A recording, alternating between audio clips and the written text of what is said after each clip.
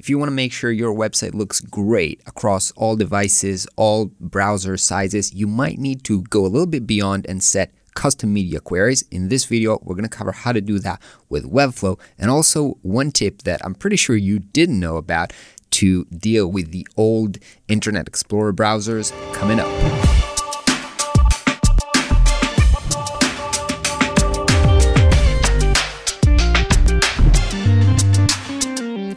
Hey everybody, what is up? I'm trying to keep the the vibe going, but if I look a little bit tired, that's because yesterday I had a birthday. I'm 37 years old and went out to a restaurant with my wife. Now, when you're 37 and you drink a couple of, of glasses of wine, you're wasted. And so today I'm pretty hungover from the birthday festivities. I'm trying to keep it keep it, you know, light, but I'm pretty wasted. So we'll try to do this tutorial pretty quick and make sure you get the value fast. So let's dive into what is actually media queries if you're using Webflow, you're pretty familiar with these, you know, mobile responsive buttons that allows you to set how things look differently on mobile. And what actually happens is that these are buttons actually represent what's called media queries. Now, media queries basically it's a part of CSS that says when the browser size is in these um, sizes, let's say it's less than 800 pixels wide, for example, then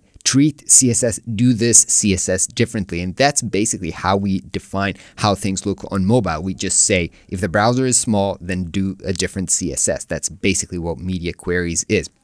However, a lot of people are asking, um, and they find that these just four media queries that Webflow suggests by default, which are super easy to use and set up, sometimes they're not enough. Specifically, what we hear a lot over and over is that people are looking that in the the iPad. I'm not sure if it's the iPad Pro or general iPad. When it's on landscape, basically it shows you can see the website as it would be on desktop, and sometimes that's not really what you want. So sometimes you might need to add a kind of an extra breakpoint or an extra media query. I want to show you how to do that. It's not very complicated to do. Basically, what you would do is you would go into your project settings and into your custom code. Now, I know you might be scared of custom code, so I'll share this project. You'll be able to just copy and paste this for yourself so you don't have to write this yourself. Basically, this is how it goes. We cre create a style tag and close it, of course, and this is how a media query might look like. So a media when the maximum width is this, basically give a style to an element and this would be the style, right? So here it is. This is the, I think, the correct one for the iPad. Max width of 960. I might be wrong about this, but I think it is. And minimum width of width of 700. So if it is between 960 and 700, this is what you show. So this is your class name and these are the properties. Now, if you're like me, you might not really remember how to write all these CSS properties. You're like, ah, how do I write these?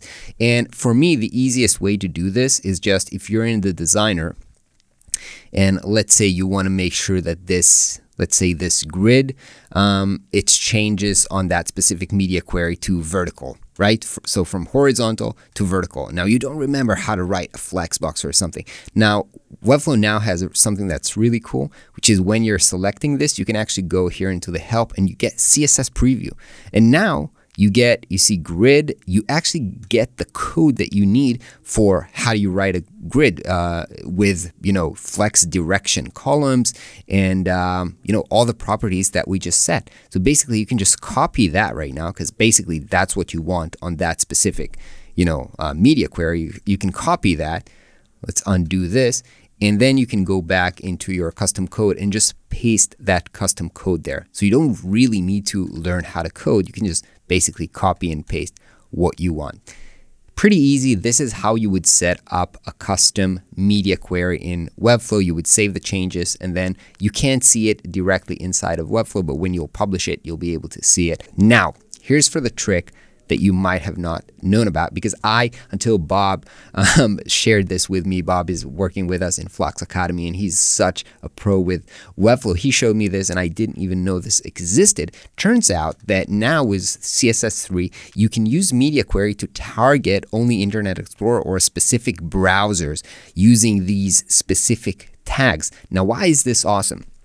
Well, some old browsers, specifically Internet Explorer, do not do not support all the new CSS features. Most notably, they don't support Flexbox and they don't support Position Sticky, for example. So sometimes you might build an amazing website and it won't look great or it will look like, honestly, like crap if you check it out on Internet Explorer. Now, we know that most users don't use that anymore, but what happens if they do?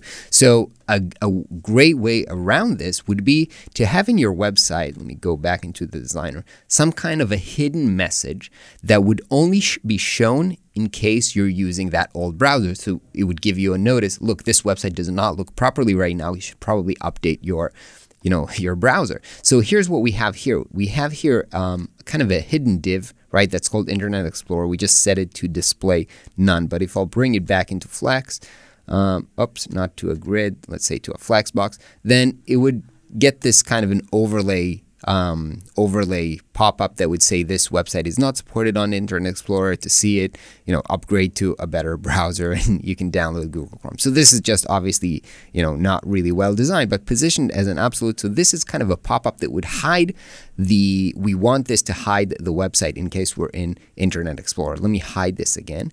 Now, the way to do this is again, we have the specific tags that we can use as a media query in this article, which I'll link below this video. And if we'll go here into the project setting, custom code, then you can see here by this line, this is the media query that we're actually using to target, let's see, Internet Explorer 9 and up or something. Yeah, this one this one or maybe this one, 9 and above, right? So this is the media query. So we're using that media query to say that the, the div that's called Internet Explorer, now we're going to set it to display flex, even though it's hidden in Webflow. So what this will do is it will show this message only if somebody comes on Internet Explorer. Now, obviously, this is just one implementation, but I think this is very, very use case, useful in case you need to kind of protect yourself from those users who are coming from old browsers.